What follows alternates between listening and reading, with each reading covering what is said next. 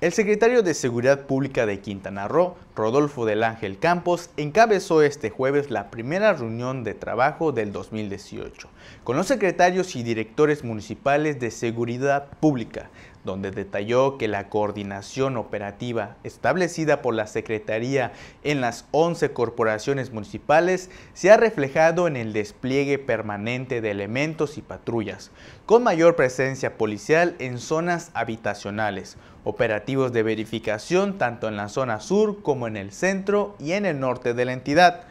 Esta reunión se da en menos de 24 horas del ataque en Cancún contra una patrulla de la Policía Estatal donde viajaban dos elementos y uno de ellos resultó gravemente lesionado. En ese sentido, autoridades de la Fiscalía de Quintana Roo informaron que se inició la carpeta de investigación 27 del 2018 y de acuerdo con el parte médico, el estado de salud del policía es delicado, pues recibió cuatro balazos. Hasta el momento no ha rendido su declaración y las autoridades encargadas de investigar se encuentran con las manos vacías. Es importante recordar que durante el 2017 se registraron diversos ataques a balazos contra policías y solamente en Cancún cinco elementos preventivos perdieron la vida.